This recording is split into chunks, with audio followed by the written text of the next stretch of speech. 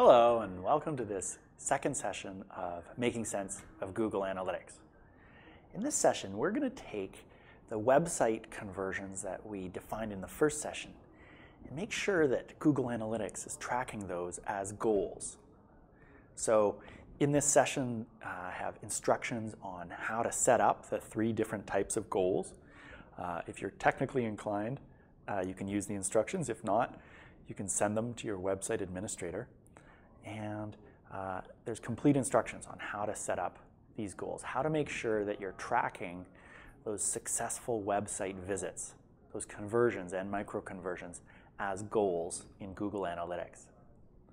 Now, a lot of people ask at this point, why do I want to track my online donations or uh, the things that I sell online, any of these e commerce transactions?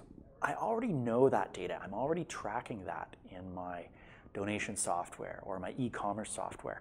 Why do I also want to track it in Google Analytics? Uh, it's a really common question and it's a pretty good one. Uh, and there's a good answer, I think. Yes, you know how many uh, donations you got last month and last year, or how many things you sold online. But what you don't know is where those people came from, where those visitors came from. What were they doing before they got to your site?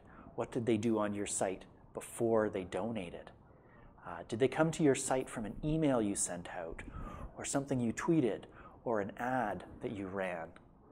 Google Analytics is uh, the software that you can tell you that your e-commerce or your uh, donation software can't really tell you that. And once you know where these people came from, it gives you really uh, good advice on how to get more of those uh, website conversions.